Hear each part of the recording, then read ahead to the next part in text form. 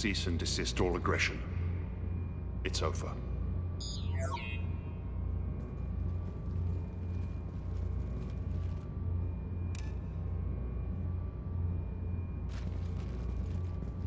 Commander Shepard, I surrender myself into your custody.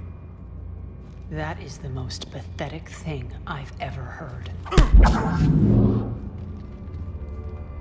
Shepard, I'm unarmed, and I can give the Alliance intel on the Illusive Man. You'll say anything to save your skin. I'll let you escape, Omega. I deserve mercy. Is this true, Aria? Inexplicably. I think he'd agree now that it was the biggest mistake of his life.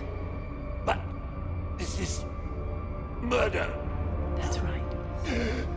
Cold-blooded murder. No less than you deserve.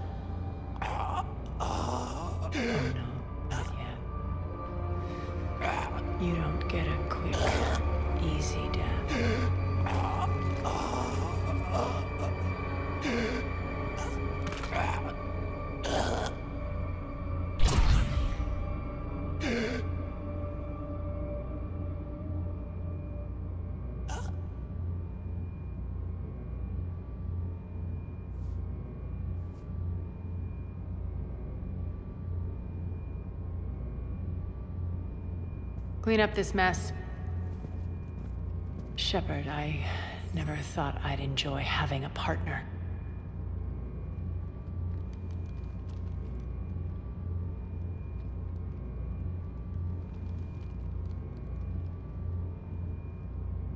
Thank you for not interfering.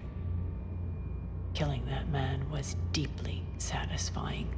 And thanks to you, I have Omega back. So what's your plan? There's a lot to rebuild. Starting with this command center.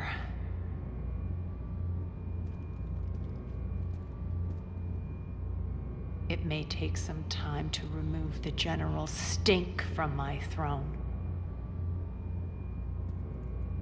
Wonder if I'll ever really enjoy the pole dancing in here again. The citizens of Omega have been through a lot, Aria. Try to remember that. They better remember who liberated them.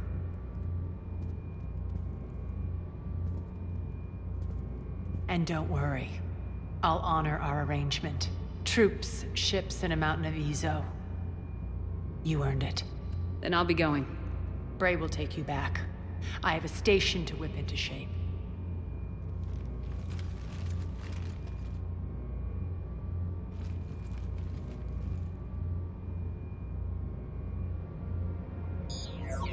Citizens of Omega, hear me.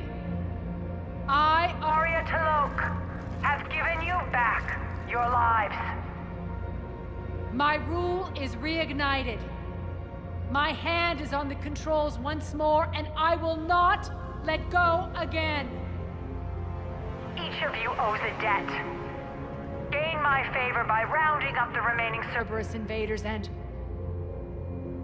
And we'll take our revenge. It's their turn to tremble. Their turn to bleed. Going forward, your lives will be hard. But the price you pay is for your Freedom. Only I can protect that. And hear this. I will make Omega impenetrable. No one will ever threaten my domain again. From this day on, will know one hard truth. Don't fuck with Omega. You always get these crap details, Bray? Not this time.